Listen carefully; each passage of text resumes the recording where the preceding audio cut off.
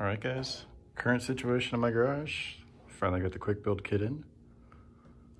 Definitely exciting. It is now over 50% complete. And I already did the empennage, the tail kit. Now working on the ailerons over there. I got the flaps right here. And uh, got the big old wings here. Gotta do something about these on the struts so I can move them around, but definitely exciting.